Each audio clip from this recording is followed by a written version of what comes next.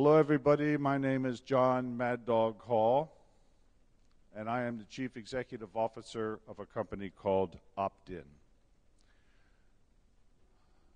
Uh, May of 2016, I had a massive heart attack. There's only 37% of my heart left. And so I was not able to come to FISL that year. Uh, then next year, last year, 2017, there was not a FISL. And this year there is. So it's been over three years since I've talked with you about the projects that I'm working on here in Brazil. I hope to tell you about a lot of those projects today, but there are other talks over the next couple of days that will tell you even more. And I will list those talks at the end. I'm here to talk about Subutai, which is made by the company I work for, OptDyn. And we have trademarks on this because trademarks are the one type of intellectual property that Richard Stallman agrees with. They are used as a brand to relate to quality and the thing that you are purchasing.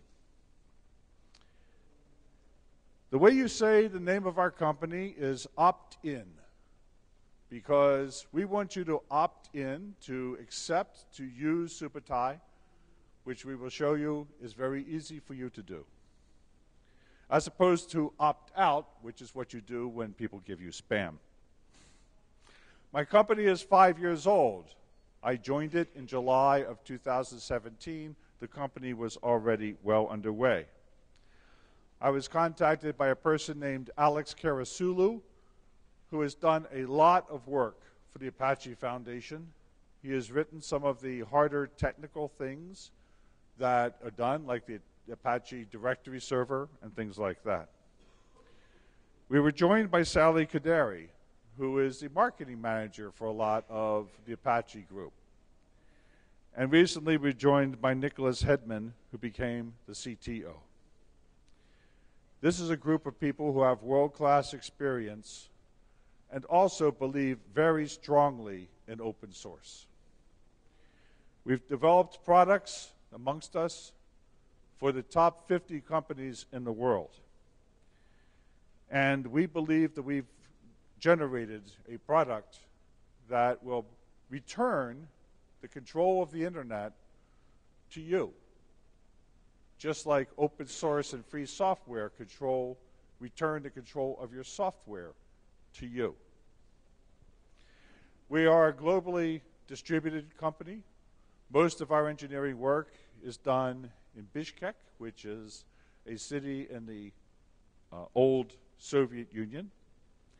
But we have also opened up a development office here in Brazil, and in Malaysia, and in Turkey, and several of us live in the United States. What we're offering is open source, peer to peer cloud computing, which also embraces the Internet of Things. And I'll explain what that means later on. And we also want to create cryptocurrency mining for everyone, not just the people who can afford millions of dollars of GPUs, which use a lot of electricity. And so they're always building their mining camps next to hydroelectric plants, solar panels, and things like that. Why did we do this? Well, first of all, there are problems with the clouds that most people are used to Amazon, Google, IBM, Microsoft. And because they seem like they're cheap when you're only using a little bit of their power. And that's true. If you're a very, very small customer and you need to set up a data center, it's a lot easier to buy cloud resources from one of these group, one of these companies. But as you use more and more, you find out it's very expensive. And a lot of large companies who are using cloud resources have determined it's better and more efficient for them to create the cloud inside of their own company. The other reason, one of the other reasons why this is bad is it's centralized. All of these companies are based in the United States. And all of these companies are under U.S. law. These companies also only want to sell things to you. They never buy things from you. Now, if you had a solar panel in your backyard generating electricity, you could sell that electricity back to the grid, and they would pay you money for it. But none of these cloud companies will buy your excess resources to utilize them. And that also promotes vendor lock in. On one level, they're always talking about how they use certain standards and things like that. But when you really get down to it, there are these minute changes which cause you a lot of pain if you want to move from one vendor to the other. They also do not do the right thing by the Internet of Things. Some people call the Internet of Things edge computing. Some people call the Internet of Things the fog because it's down close to the ground, it's not really up in the clouds. And that means that you typically write an application which talks to your things, but your things are not actually part of the internet. This is a problem. We'll see why later on. It also doesn't allow you to have true control over your cloud resources. These companies will say, oh, yes, we'll store the data in your country to abide by your laws. But when you ask them how they actually do that, you find out they have no data center in your country. Maybe some of them have data centers around the world, both for redundancy, for legal reasons. But do they have a data center in your country? And can you guarantee that the processing that they're offering in their cloud or the storage that they're using is really where they say it is? You can't because you have no control. Now, the cloud providers are struggling with privacy. Recently, the European Union passed some very strict privacy laws that said if you can't obey these laws, then you're going to be hit with very high fines on a day by day basis. And this is one of the reasons why Facebook moved their, their official corporate offices from Ireland back to the United States because they were afraid that they could not meet those privacy restrictions and they did not want their corporate office to be in Ireland, which is part of the EU. You have very strict laws when it comes to privacy, particularly with health, you know, hospitals, things like that. They want to keep their patients' information on their systems, or at least in a place where they feel is secure. There's government privacy regulations, just like the EU. And unfortunately, the country that I call home, the United States, has this really weird feeling about privacy and is called the Patriot Act, and therefore, the, and the, later on, the Cloud Act, which basically says that you, as Brazilians, have no rights at all. I, as a United States citizen, have rights under the law of privacy and security. But when I talk with you, that eliminates that. I become talking to a potential terrorist. And I'm sure all of you people are terrorists. I can see it in your eyes. And thanks to Edward Snowden, we actually had proof that the NSA, the National Security Agency in the United States, was reading President Dilma's emails. Now, whether or not President Dilma had anything interesting to say is not the point. The point is they shouldn't have been reading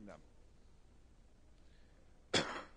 and hackers are also a legitimate concern when it comes to big cloud because the bigger the cloud, the more they get when they finally break in. If we could distribute this somehow, their payback would not be as good. But this especially concerns people about the Internet of Things.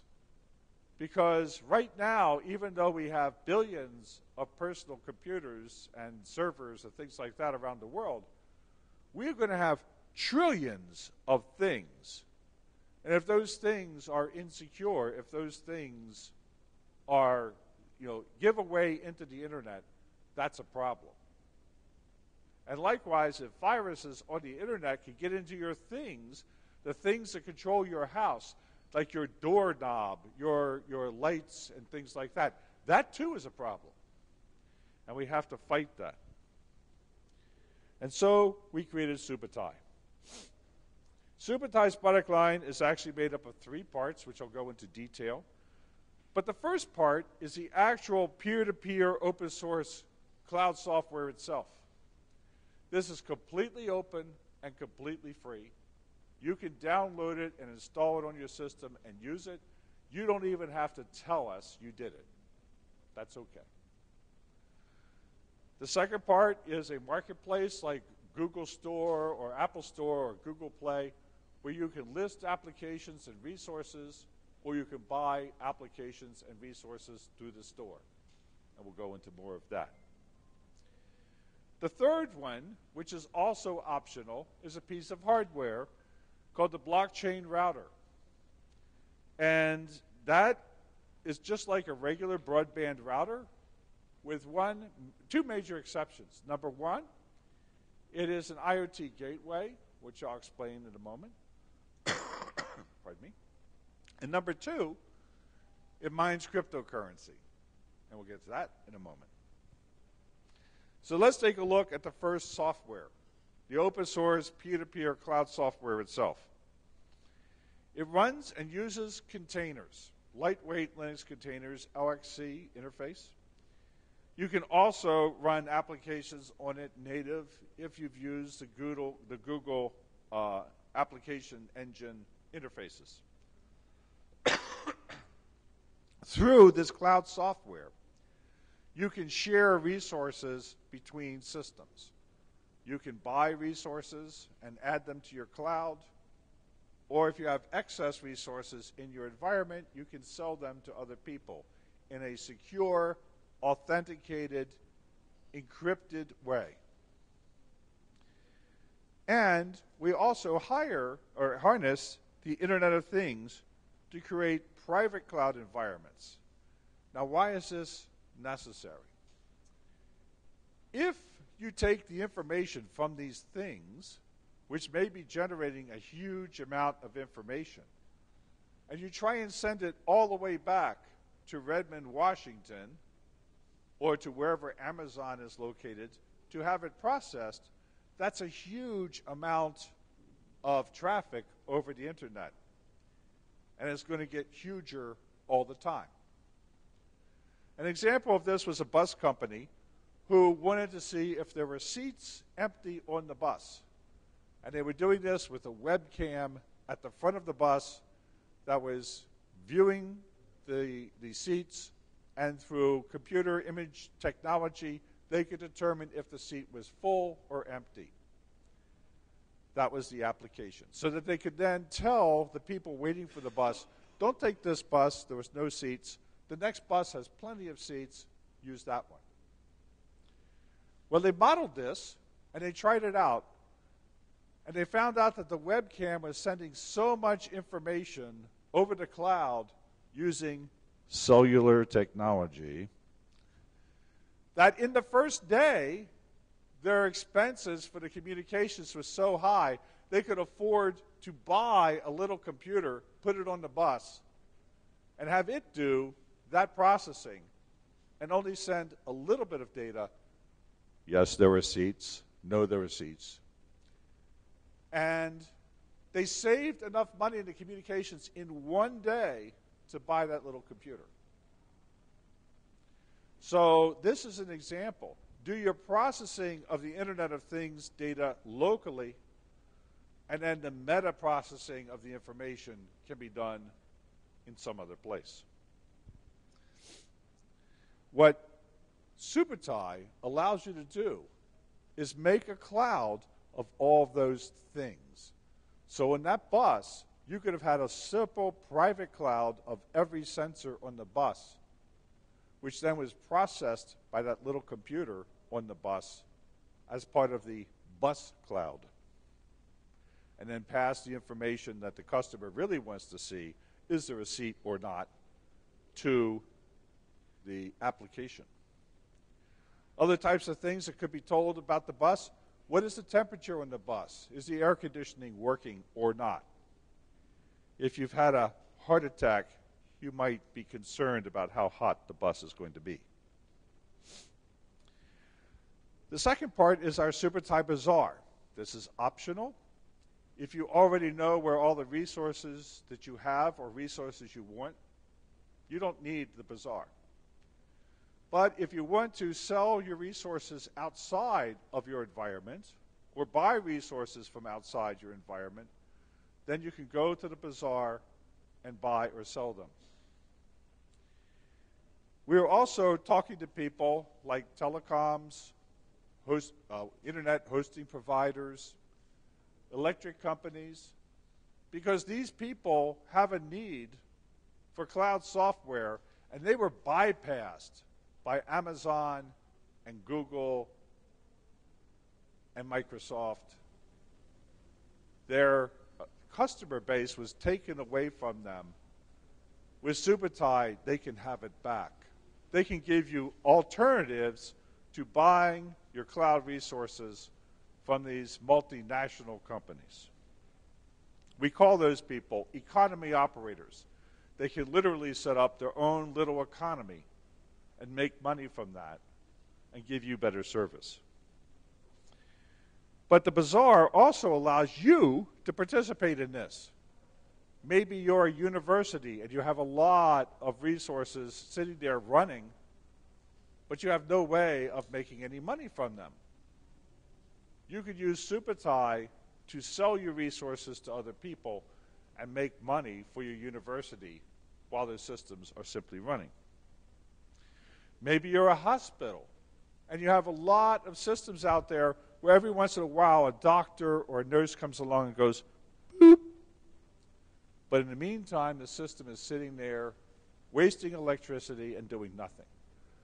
With Subutai, you could set up a network inside the hospital to process things like MRIs, CAT scans, or do other types of deep diving type of information retrieval without having to buy them from a big cloud provider and without having to expose your customers to being spied on.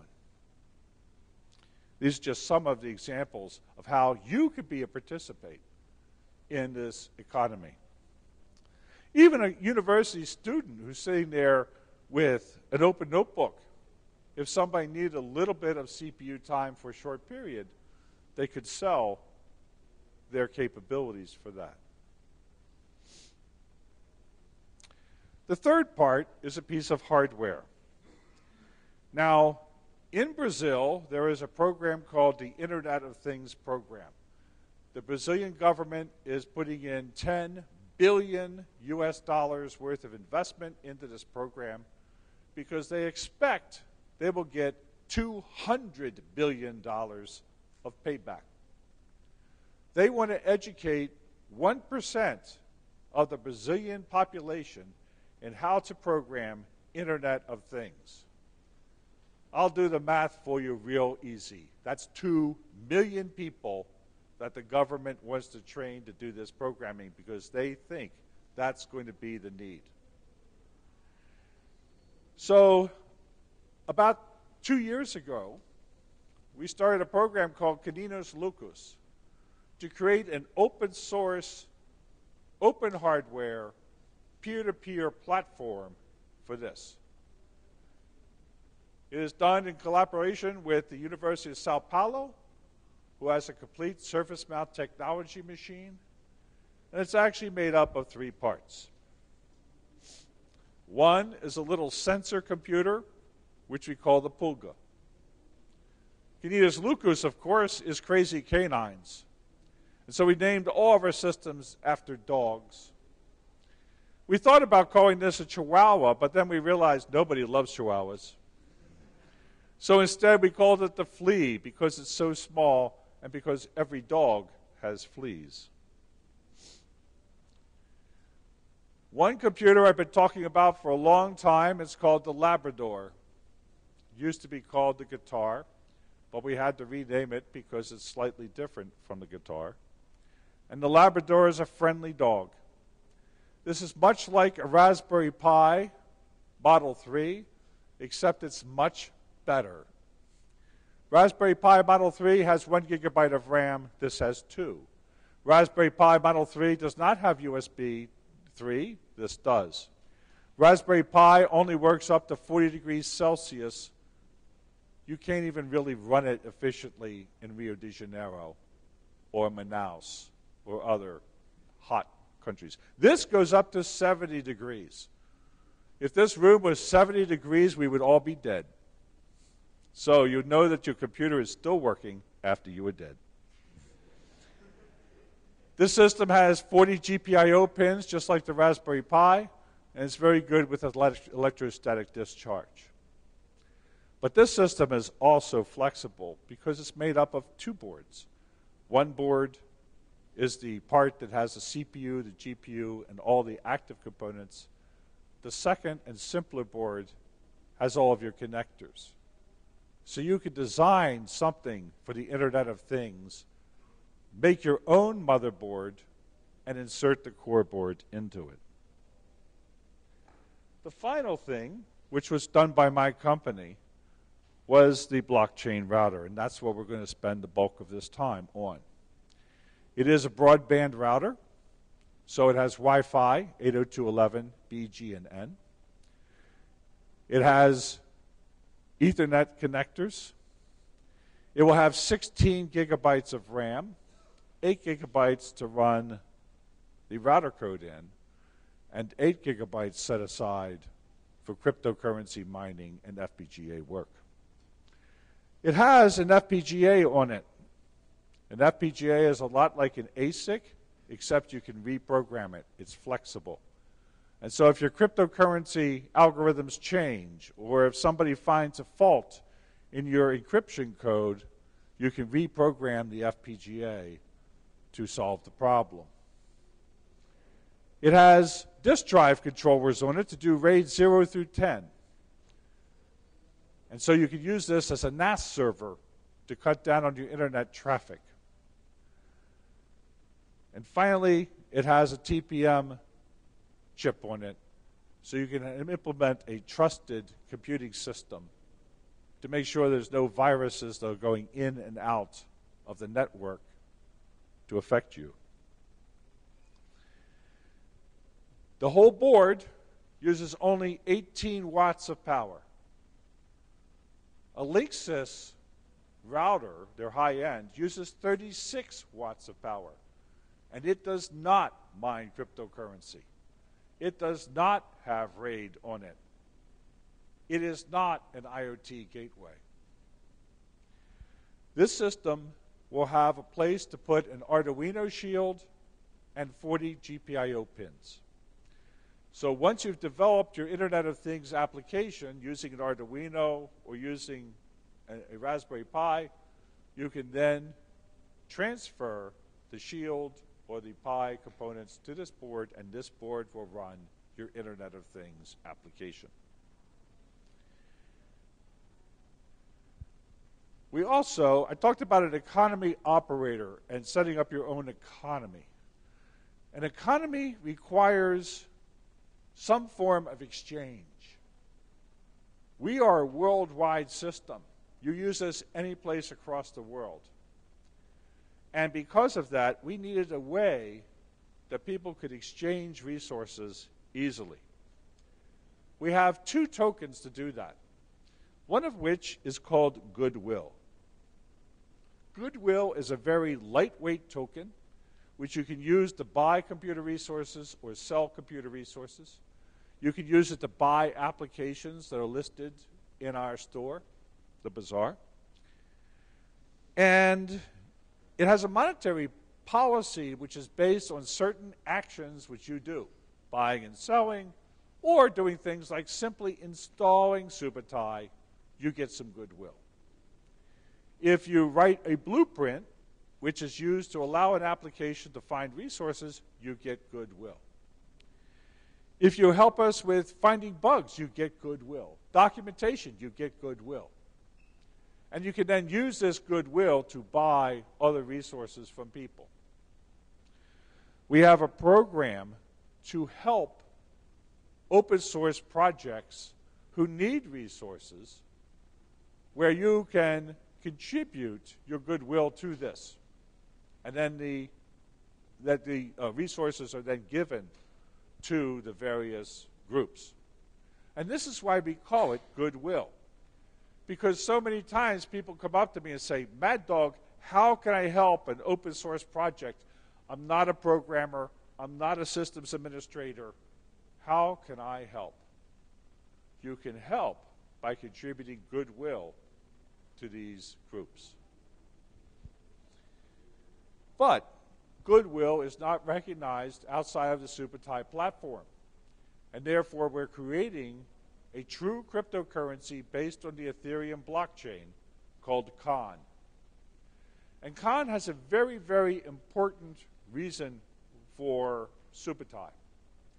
Because if you're going to buy resources from somebody, you want that person to guarantee you that maybe they're going to be up 99.99% of the time. Maybe they're going to have a certain amount of security in their system. Maybe they have their system audited. These are things that give their services a higher value than other people's, and they may charge more for them. This type of information is put into what we call a service level agreement. And every time you buy resources from a cloud vendor, they too have a service level agreement that says what they're going to promise you. But what happens when they don't meet that? You typically cannot get back your money, or it's very expensive to do that. But Subutai keeps track of the resources you use, and we can determine where they met their service level agreement or not. They, in order to have the service level agreement, they have to put some amount of KHAN into what we call escrow. So that if they don't provide you those services, you get your money back. The opposite side of this is a contract. You want to be able to buy these services, but you don't want to have to spend time every time you're buying a little bit of, of CPU time to negotiate a deal. So you write what is called a smart contract, or you use a smart contract that's already written. And you say, I want to pay this much for this much resources using this SLA. And Subutai makes that match. And it gets you the best value according to what your contract says and what the vendor says, the person selling the resources.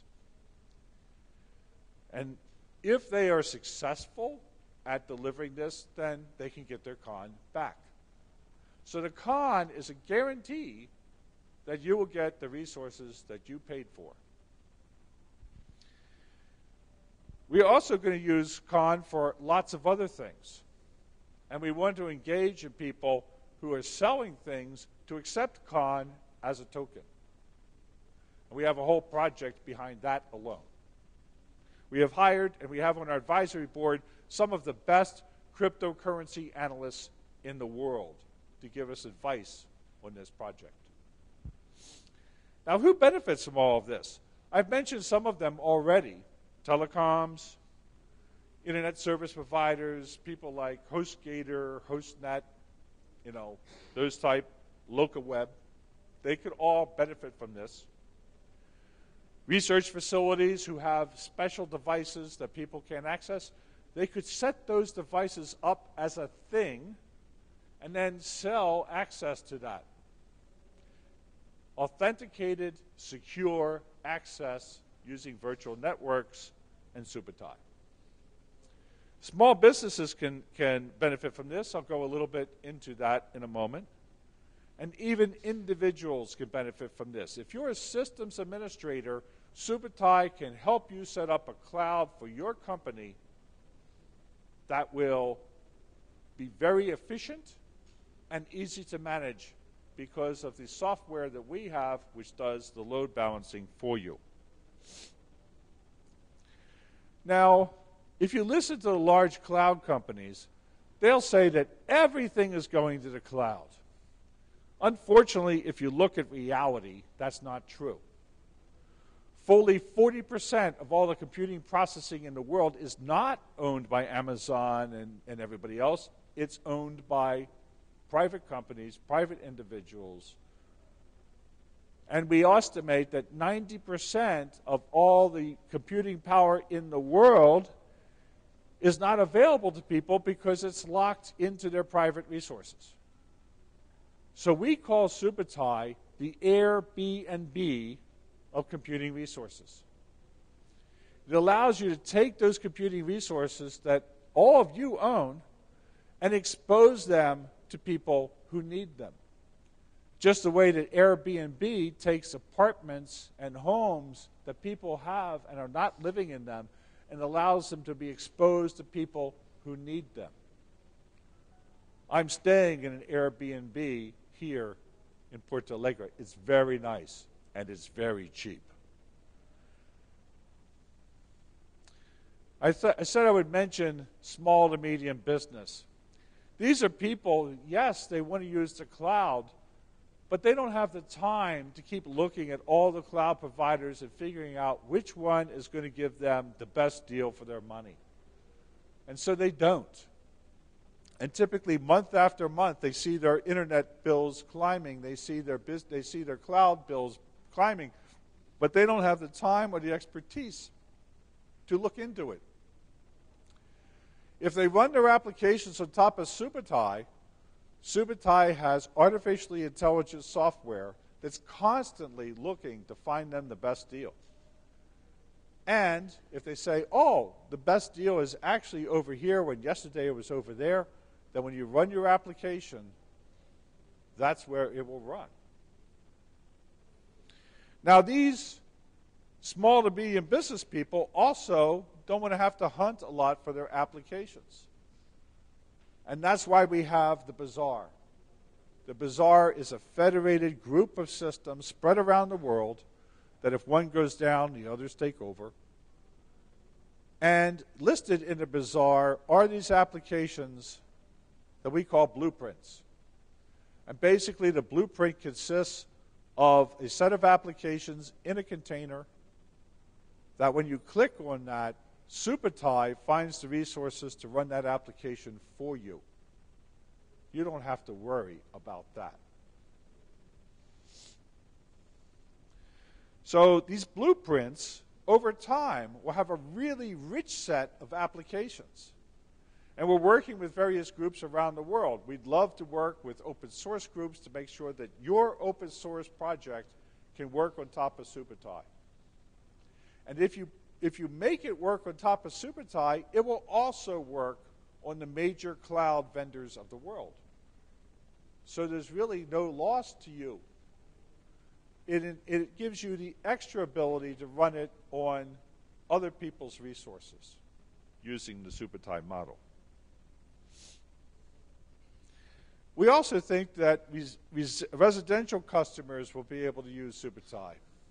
We're working right now to make it run on a standalone distribution on a USB stick. So in the future, I will not have to bring my notebook with me to run this. I will have the operating system on my USB stick, and I will have Subutai reach out. As long as I have access to the internet, Subutai will reach out find where I've stored my data, and allow me to do my presentation. We're working on that. We should have that available soon. The blockchain router we call the Swiss Army knife because it does so many different things. And we're looking to sell the blockchain router to economy operators. If you're a telco sitting out there, if you're a web hosting service sitting out there, let me paint you this picture. You talk to your customers and you say, I've been providing Wi Fi units for you for years and charging you a little bit of money every month for that. If you use this one, not only will you mine enough cryptocurrency to eventually pay off that purchase, but after that, you'll be able to pay a portion of your internet costs with the cryptocurrency that you're mining here. And so, in effect, you'll be able to have what we've always dreamt about free internet.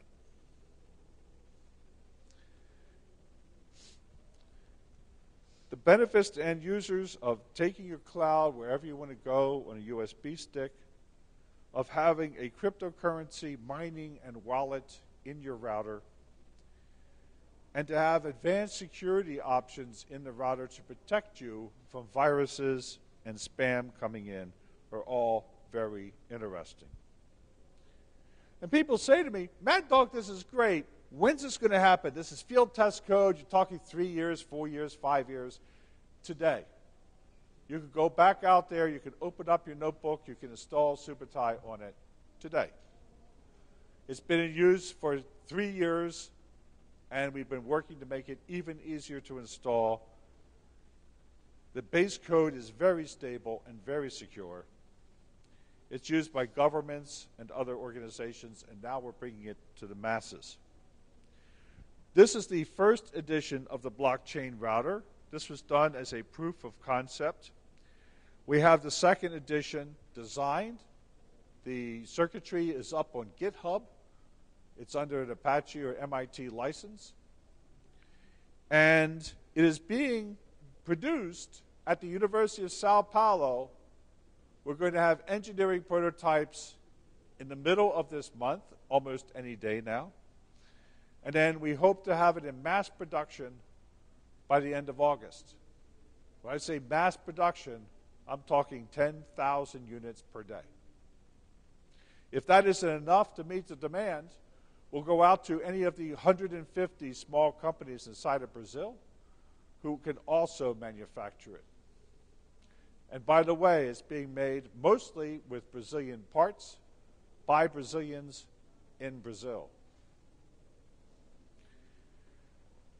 We've gone around and we have several memorandums of understanding with various companies about our products. I'll go into that in a moment, show you who our partners are. And we have our multinational team in place. These are our current partners. Caninos Loucos from the University of Sao Paulo with a nonprofit called LSITEC. We're not going to make any money off of the sale of these systems. We're going to be producing these on a cost basis. We're doing this to stimulate design and manufacture of electronics inside of Brazil. I've been talking about this project for three years. This July, this month, it starts. We have a roadmap of other newer systems that we're going to be bringing out over the next couple of years, and we'll have a talk about that tomorrow. We're working with the Vambex Group, which helps us with marketing and, and, and better creating our Subutai and KHAN tokens. They're worldwide famous, they're very good at it. We're working with CellTab and PTI, the research arm of Itaipu, because they want to have Internet of Things to help to reduce the amount of electricity used in Brazil. That seems strange a hydroelectric plant wanting to reduce the amount of electricity? That's because when it increases, it means that you have to start up coal and oil fired plants, which are more expensive to handle the load. If you can smooth it out and reduce it, then it can all be supplied efficiently by Itaipu. And God help us, we don't want to build another Itaipu. The first one almost broke Brazil. So they're working with us. They signed a memorandum of understanding to do research in this. And I am the advisor on that project. We're talking with a global telecommunications company. We've handed them an MOU. They are still looking at it and evaluating it. I'm actually talking with several of these companies inside of Brazil.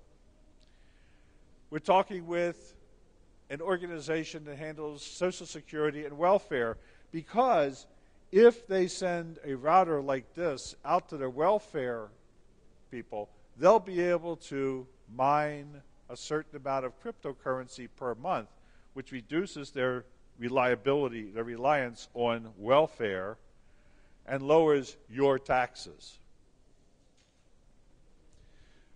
I am the board chairman of the Linux Professional Institute.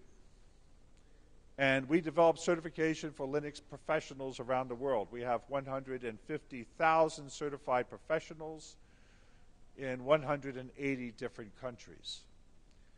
We are developing a certification for Internet of Things and embedded systems. And we're working with the University of Sao Paulo that has an online class that teaches Internet of Things programming and embedded systems programming. 50,000 people have already taken that course. It started off in Portuguese, is in the process of being translated into English and Spanish. The course is free. And we want it so that when you finish that course, you can then take the test from LPI and actually be certified for that.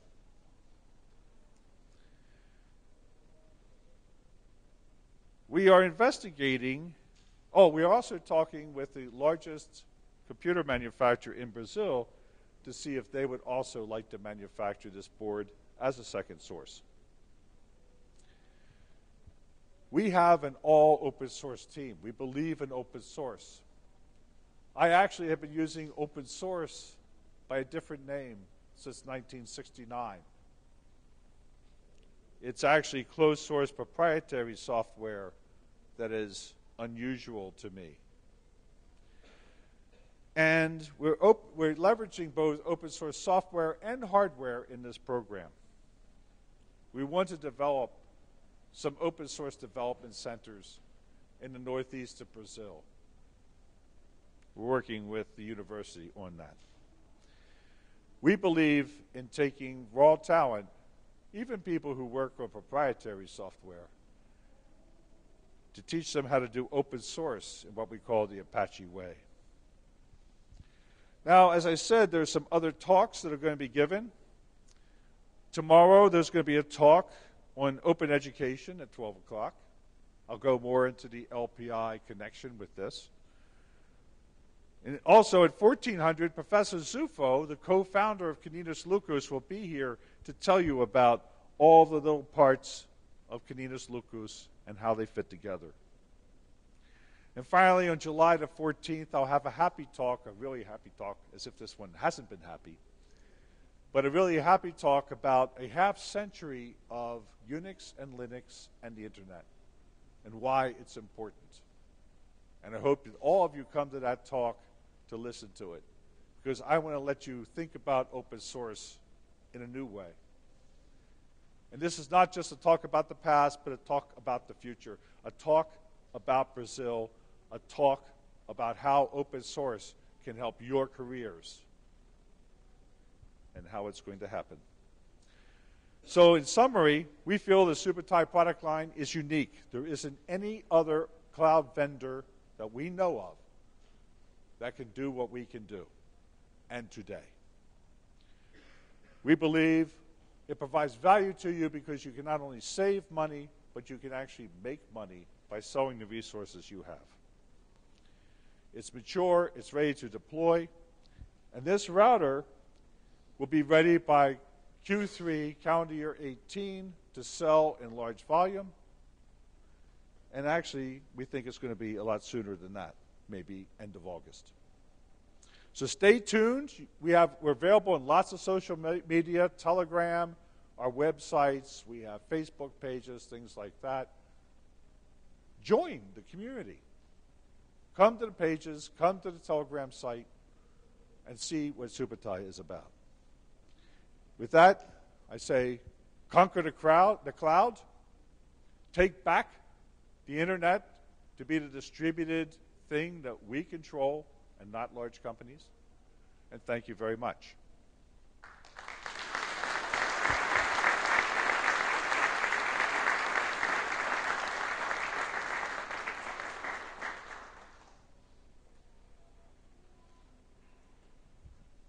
Think I have one or two minutes more. Are there any questions that anybody would like to ask?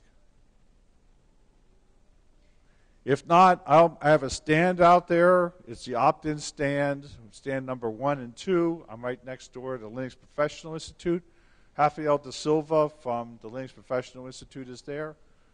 And if anybody is interested more about KHAN and how they could invest in that, you can see me out there. Thank you very much. Oh, and of course, you can take lots of pictures.